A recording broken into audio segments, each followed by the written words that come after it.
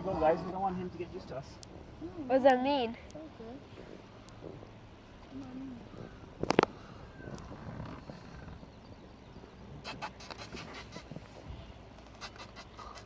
Oh, he's not happy.